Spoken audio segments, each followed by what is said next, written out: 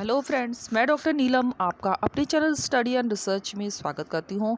Friends आज हम study करने जा रहे हैं इतिहास की और ये स्टडी होती है डिस्क्रिप्टिव वे में और इस समय जो टॉपिक चल रहा है वो है विजयनगर साम्राज्य और ये पार्ट थ्री है। अगर आपने वीडियोस नहीं देखे हैं तो आप डिस्क्रिप्शन बॉक्स में जाइए। वहाँ पर डिस्क्रिप्टिव स्टडी के नाम से प्लेलिस्ट क्रिएट किया हुआ है और लिंक दिया गया है। लिंक के माध्यम से आप इन सभी वीडियोज़ को देख सकते हैं। इस तरह का वीडियो पसंद आता है तो लाइक शेयर सब्सक्राइब करें। सब्सक्राइब करने के बाद बेल आइकन की घंटी को ज़रूर प्रेस कर लें ताकि इस तरह का वीडियो जब भी अपलोड करूँ, उसका नोटिफिकेशन आसानी से आपको मिल सके। तो हमें स्टडी करनी थी विजयनगर साम, विजयनगर की प्रशासनिक व सामाजिक स्थिति के बारे में। चार राजवंश इसके अंतर्गत थे, जिनकी स्टडी हम पहले ही कर चुके हैं। तो प्रशासनिक व्यवस्था देखते हैं। प्रशासनिक व्यवस्था विजयनगर में राजतंत्रात्मक शासन व्यवस्था थी, एवं राज्य तथा शासन की समस्त शक्तियों का स्रोत राजा राय कहलाता था। तो राय बहुत ही इम्पोर्टेंट है। राजा राय कहलाता था। राज्य की समस्त राज्य की सप्तांग विचारधारा पर भी ज़ोर दिया जाता था। यहाँ पे प्रशासनिक इकाइयाँ दी गई हैं। मंडलम जो कि प्रांत होता था, कोट्टम या वलनाडु, जिसे ज़िले कहते थे, नाडु, परगना, मेला ग्राम, यानी पचास ग्राम को मेला ग्राम कहा जाता था, उर तो ये ग्राम हो जाता है। तो बड़े से छोटे के क्रम में ये दिया गया है। सबसे छोटा उर, मेला फिर ग्राम होता था, फिर नाडु, कोट्टम या वलनाडु, फिर लास्ट में मंडलम। तो नेट और पीजीटी के एग्ज़ाम में मोस्टली इस पर क्रम व्यवस्थित करने के लिए आता है। बड़े से छोटे या छोटे से, बड़े की तरफ़ इसको व्यवस्थित करना होता है। राजा नागरिक सैन्य तथा न्याय संबंधी मामलों का सर्वोच्च अधिकारी होता था तथा प्राय सामाजिक झगड़ों को सुलझाने के लिए हस्तक्षेप भी करता था। कृष्णदेव राय ने अपनी पुस्तक, अमुक्त माल्याद में कहा कि एक मूर्धाविषक्त राजा को सर्वथा धर्म को दृष्टि में रखकर शासन करना चाहिए। राजा के राजा के ठीक बाद युवराज का पद होता था, जो राजा का ज्येष्ठ पुत्र अथवा उसके ना होने पर राज परिवार का कोई योग्यतम पुरुष होता था। तो वंश परंपरा के अनुसार उनका शासन चलता था। युवराज की नियुक्ति के बाद उसका राज्यभिषेक किया जाता था, जिसे युवराज पट्टाभिषेकम कहते थे। तो ये ज़रूर ध्यान रखें, युवराज पट्टाभिषेकम कहा जाता था, राज्यभिषेक की जो प्रक्रिया होती थी उसे। राज परिषद नामक संस्था राजा की सत्ता को नियंत्रित करती थी तथा उसे विभिन्न नीतियों पर सलाह देती थी। राज परिषद ही राजा का अभिषेक करती थी तथा प्रशासन संचालित या चलाती थी। प्रशासक प्रशासनिक कार्यों के लिए एक मंत्रिपरिषद भी होता था, जिसके सदस्यों की संख्या बीस थी। तो मंत्रिपरिषद की जो संख्या थी, वो कुल बीस थी। इनका प्रमुख अधिकारी, प्रधानी या महाप्रधानी होता था। इसी को सभा नायक भी कहा जाता था। विद्वान राजनीति में निपुण पचास से सत्तर वर्ष की आयु वाले तथा स्वस्थ व्यक्तियों को ही मंत्री परिषद का सदस्य बनाया जाता था।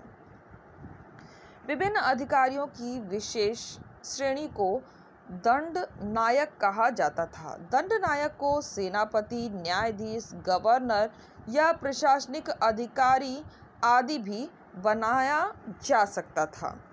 विदेशी विदेशी यात्री अब्दुल रज़ाक तथा नोनिज दोनों ही एक सचिवालय का उल्लेख करते हैं। सचिवालय के अधिकारियों, राय राय राय समन सचिव और कर्णी कम अकाउंटेंट आदि होते थे। तो राय समन सचिव होता था। तो ये थोड़ा सा इम्पोर्टेंट है। राय समन सचिव कहलाता था और कर्णिम अकाउंटेंट विजयनगर साम्राज्य प्रशासनिक सुविधाओं के लिए मंडलम अथवा प्रांतों में विभक्त किया गया था। सामान्यतः प्रांतों पर राज परिवार के सदस्यों को गवर्नर के रूप में नियुक्त किया जाता था। यद्यपि कभी कभी कुशल एवं अनुभवी दंड नायकों को भी राज्यपाल बना दिया जाता था। गवर्नरों का कार्यकाल निर्धारित नहीं होता था मतलब कितने भी साल तक वे अपने पद पर कार्य कर सकते थे। वह पुराने कारों करों को माफ़ कर सकता था नए करों को लगा सकता था। कर का भी अधिकार गवर्नरों को दिया गया था। वो अपने आ, अपने अनुसार कर लगा या हटा सकते थे। सिक्के चला सकता था और भूमि दान आदि दे सकता था। तो ये बहुत ही इम्पोर्टेंट काम है। देखिए कर का भी कार्यभार था सिक्के चलाने का और भूमि दान आदि दे सकता था। नेक्स्ट पॉइंट देखते हैं। केंद्रीय सरकार प्रांत के प्रशासनिक मामले में तब तक हस्तक्षेप नहीं कर सकती थी जब तक की अत्यधिक आवश्यकता ना हो गई हो। प्रांत प्रांत में कानून एवं व्यवस्था बनाए रखना तथा प्रांत के राजस्व का एक निर्धारित अंश भेजना गवर्नर का कर्तव्य था। इसके लिए वे अपना एक सचिव या एजेंट केंद्रीय सरकार में रखते थे। नायकर नायकार व्यवस्था या आयंगर व्यवस्था। तो इस पर काफ़ी क्वेश्चन बनते रहते हैं, आयंगर और नायकार की व्यवस्था के ऊपर। तो चलिए इसे देख लेते हैं, ये क्या है व्यवस्था? विजयनगर कालीन सेना नायकों को नायक के नाम से जाना जाता था, जो वस्तुतः भू सामंत होते थे, जिन्हें राजा वेतन के बदले उनके अधीनस्थ सेना के रख रखाव के लिए विशेष भूखंड देती थी, जो आमरम कहलाते थे। तो नायक और आमरम के ऊपर क्वेश्चन बनता है, कौन थे? तो ये थोड़ा सा ध्यान रखिए। आगे चलते हैं। आमरम भूमि का उपयोग करने के कारण ये अमर नायक से अमर नायक कहलाते थे। साथ ही इन्हें पलाई यागार अथवा पालीगर भी कहा कहते थे। अमर नायकों की सर्वाधिक नियुक्ति तमिलनाडु में हुई थी। अमर नायकों के दो प्रकार के कर्तव्य थे इन्हें अपने क्षेत्र में प्राप्त आय के एक अंश को केंद्रीय खजाने में जमा करना पड़ता था तथा द्वितीय, इसी भूमि की आय से राजा की सहायता के लिए एक सेना रखनी होती थी, जिसका अमर नायकों के दो प्रकार के कर्तव्य होते थे। इन्हें अपने क्षेत्र से प्राप्त आय के एक अंश को केंद्रीय खजाने में जमा करना पड़ता था तथा द्वितीय, इसी भूमि की आय से राजा की सहायता के लिए एक सेना रखनी होती थी जिसका निर्धारण राजा स्वयं करता था। आमरम भूमि आमरम भूमि में शांति और सुव्यवस्था बनाए रखने का दायित्व तो भी इन्हीं का था तथा क्षतिपूर्ति भी इन्हें ही करनी होती थी। अपने कार्य में अक्षम रहने पर नायकों को शारीरिक रूप से दंडित दंड आ, किया जा सकता था। गवर्नर व अमर नायक में एक विशेष अंतर था कि राज्यपाल को दंड नायक कहा जाता था तथा वे ब्राह्मण जाति से संबद्ध होने के दृष्टांत नहीं है। मतलब वो ब्राह्मण जाति से नहीं होते थे जितने भी देखे गए हैं। नायक के पद धीरे धीरे अनुवांशित होते गए। नायक दो प्रकार के आधिकारिक केंद्र में रखते थे। एक वो सेना का सेनापति, दूसरा उनका प्रशासनिक एजेंट, जिसे स्थानापति कहा जाता था। स्थानापति पर भी क्वेश्चन काफ़ी बनता है तो इसको थोड़ा सा माइंड में रखिए। वित्तीय साधनों एवं सैनिक शक्ति से युक्त अमर नायकों की उच्च खलता को रोकने के लिए अच्युत देव राय के समय में संपूर्ण दक्षिण भारत में महामंडलेश्वर नामक अधिकारी की नियुक्ति की गई। कहाँ पर नियुक्ति हुई थी? दक्षिण भारत में महामंडलेश्वर के अधिकारी की नियुक्ति हुई थी। अयंगर व्यवस्था स्थानीय प्रशासन से संबंधित थी। इस व्यवस्था के अनुसार एक स्वतंत्र इकाई के रूप में प्रत्येक ग्राम को संगठित किया जाता था तथा इस ग्रामीण शासकीय इकाई पर शासन करने के लिए सरकार द्वारा 12 व्यक्तियों को नियुक्त किया जाता था। राजस्व देखते हैं। विजयनगर साम्राज्य की आय का मुख्य स्रोत भूमि कर था। भूमि भूमि के अतिरिक्त संपत्ति कर व्यापारिक कर, व्यावसायिक कर, उद्योग कर, सामाजिक, सामुदायिक कर अर्थ दंड से प्राप्त धन भी आय के साधन थे। लगान लगान के लिए भूमि की चार श्रेणियाँ थी, सिंचित, शुष्क, उद्गाण और वन। लगान की दर एक बटा तीन से एक बटा छः तक थी। ब्राह्मणों से भू राजस्व एक बटा बीस तथा मंदिरों से एक बटा तीस प्रतिशत लिया जाता था। वैवाहिक समारोह के आयोजन पर भी लगान आयोजन पर भी कर लगता था, जिसे दोनों पक्षों से वसूल किया जाता था। यद्यपि कृष्णदेव राय ने विधवा विवाह से कर समाप्त कर दिया था। कर वसूली के लिए ठेकेदारों की प्रथा थी और कर का भुगतान नकदी अथवा अनाज दोनों में हो सकता था। भूमि कर को विस्ट कहा जाता था। ये बहुत इंपॉर्टेंट है और नेट का नेट के क्वेश्चन में ही आया हुआ प्रश्न है कि विस्ट क्या है? तो ये भूमि कर कर था। संकल्पना टाइप के क्वेश्चन आते हैं तो उसमें विष्टि का काफ़ी बार पूछा गया है। तो भूमि कर था, वित्तीय विभाग जिसके अंतर्गत राजस्व प्रशासन आता था, जो अथावन अथवा अठवन कहलाती थी। बारह शासकीय अधिकारियों का समूह ही अयंगर कहलाता था। तो अयंगर की डेफिनेशन जो बनेगी वो बारह शासकीय अधिकारियों का जो समूह था, वो अयंगर कहलाता था। अयंगरों के पद अनुवांशिक होते थे तथा वे अपने पदों को बेच या गिरवी भी रख सकते थे। इसकी जानकारी के बिना, इनकी जानकारी के बिना ग्राम की संपत्ति को न तो स्थानांतरित किया जा सकता था, न ही दान दिया जा सकता था। कर्णिक कर्णिक नाम का अधिकारी अयंगर भूमि की खरीद या बिक्री या लिखा, पढ़ी तथा उससे संबंधित दस्तावेजों को तैयार करता था। कई गाँवों का समूह नाडू कहलाता था। नाडू हम पहले ही पढ़ चुके हैं। कई ग्रामों का समूह नाडू कहलाता था। कणिक कणिक अधिकारी थोड़ा देख लीजिए। नामक अधिकारी अयंगर भूमि की खरीद या बिक्री या लिखा पढ़ी तथा उससे संबंधित दस्तावेजों को तैयार करता था। यानी दस्तावेज़ तैयार करने वाले को हम कह सकते हैं।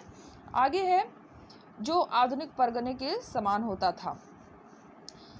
नेक्स्ट पॉइंट है इसकी सभा को नात्वर कहा जाता था। नात्वर के कार्यों की देख रेख के लिए केंद्रीय कार्य प्रतिनिधि होता था, जिसे महानायकाचार्य कहते थे।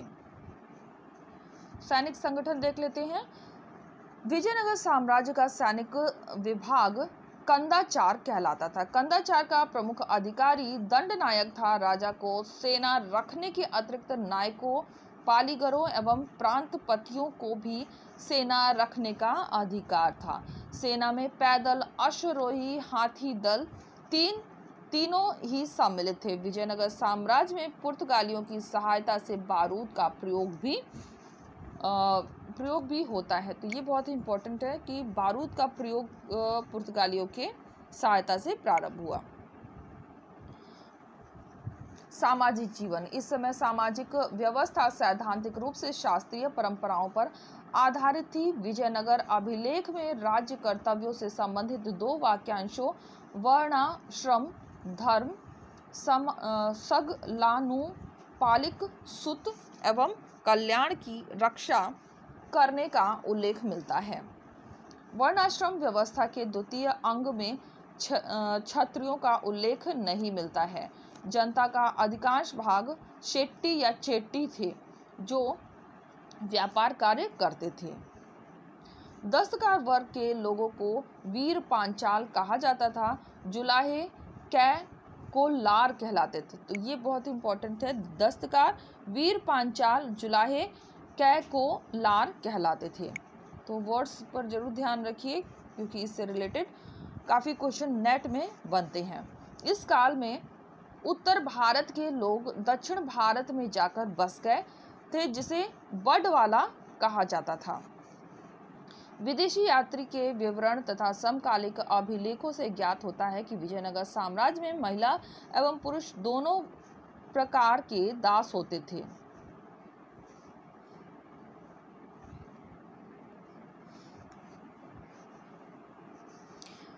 मनुष्य के क्रय विक्रय को बेस बग कहा जाता था, जो व्यक्ति ऋणदाता को ऋण नहीं दे पाता था, दिवालिया हो जाता था, उसे प्राय ऋणदाता का दास होना पड़ता था। स्त्रियों को भोग की वस्तु समझा जाता था, उच्च कुल की स्त्रियों को पर्याप्त शिक्षा दी जाती थी। मंदिरों में देव पूजा के लिए रहने वाली स्त्रियों को देवी दासी कहा जाता था और इन्हें आजीविका के लिए या तो भूमि दी जाती थी अथवा नियमित वेतन दिया जाता था। गणिकाएँ। गणिकाएँ धनाढ़ या विशेषाधिकार प्राप्त होती थी तथा समाज में इन्हें हेय दृष्टि से नहीं देखा जाता था। प्रशासन में भी इनका ग्रहण करता था, कर ग्रहण करता था। विजयनगर कालीन तेरह ईस्वी में अभिलेख में माल गौडा नामक महिला द्वारा सती होने का उल्लेख प्राप्त होता है। डू आटो बारबोसा लिखता है कि सती प्रथा लिंगायतों, चेटियों एवं ब्राह्मणों में प्रचलित नहीं थी। सती होने वाली स्त्री को याद में पाषाण स्मारक लगाए जाते थे, मंदिर, मठ एवं अग्रहार शिक्षा के केंद्र थे। अग्रहारों में मुख्यतः वेदों की शिक्षा दी जाती थी। विजयनगर साम्राज्य में सामाजिक समस्याएँ भी थी। देवराय द्वितीय के समय के अभिलेखों से ज्ञात होता है कि ब्राह्मण समुदाय के लोगों ने मिलकर दहेज को अवैधानिक घोषित किया तथा राज्य ने इसे स्वीकृत प्रदान कर दिया, स्वीकृति दे दी। अभिलेख अभिलेख में कहा गया है कि जो पिता धन देगा, यानी दहेज देगा और जो धन को स्वीकार करेगा, वह राजा द्वारा दंड का भागी होगा। श्रीरंग द्वितीय के शासनकाल के एक अभिलेख में कुछ गाँवों के निर्वा, निवासियों को यह आदेश दिया गया कि वे तीन दस्तकार समूह बढ़ई लाहौर लाहौर और स्वर्णकार। लोहार होगा गलत दिया हुआ है। स्वर्णकार के साथ दुर्व्यवहार ना करें, ना ही उन्हें उनके विशेषाधिकार से वंचित करने का प्रयास करें। बारबोसा बतलाता है कि राज्य ऐसी स्वतंत्रता देता है कि प्रत्येक मनुष्य बिना किसी खींच और जाँच पड़ताल की, वह ईसाई, यहूदी, मूर अथवा हिंदू है, अपने धर्म के अनुसार कहीं आ जा तथा रह सकता है। यहाँ लास्ट में मैं आपको एक टेबल दिखा रही हूँ। और यही हमारा जो है चैप्टर विजयनगर का समाप्त हो जाएगा। तो यहाँ पर जो है विदेशी यात्री दिए गए हैं और आ, किस वर्ष आए और कौन से शासक थे? तो इस पर क्वेश्चन काफ़ी नेट में आपका पीजीटी पीजीटी में बनता है कि निकोलो कॉन्टी किसके शासनकाल में आया था? तो निकोलो कॉन्टी जो कि इटली का यात्री था 1420 में देवराय प्रथम के समय में आया था। इसे चाहिए तो आप राइट कर लीजिए। अब्दुल रजाक, जो कि फारस का था 1442 में देवराय द्वितीय के समय आया था। नोनेज, जो कि पुर्तगाली था 1450 में मल्लिका अर्जुन के समय आया। फिर डोमिंगो पायस, पुर्तगाली, जो कि 1515 में कृष्णदेव राय के समय आया। बारबोसा, जो कि पुर्तगाली था 1516 में कृष्णदेव राय आया, के समय आया। और सीजर फैड्रिक द्वितीय ये भी पुर्तगाली था 1515 में, सदाशिव राय के समय में आया था। तो ये बहुत ही इम्पोर्टेंट टेबल है। तो इसको ध्यान से देख लीजिए आप। चाहिए तो वीडियो को पॉज करके आप इसे राइट कर लीजिए। तो फ्रेंड्स यहाँ हम आ गए हैं डिस्क्रिप्टिव स्टडी की प्लेलिस्ट में। अगर आपने नहीं देखा है तो आप डिस्क्रिप्शन बॉक्स में जाइए। वहाँ पर NET J R F P G T T G T history descriptive study के नाम से प्लेलिस्ट क्रिएट किया गया है और उसमें आपको ये सारे वीडियोस के लिंक मिल जाएँगे, जो कि हमने स्टार्ट किए थे प्राचीन इतिहास से।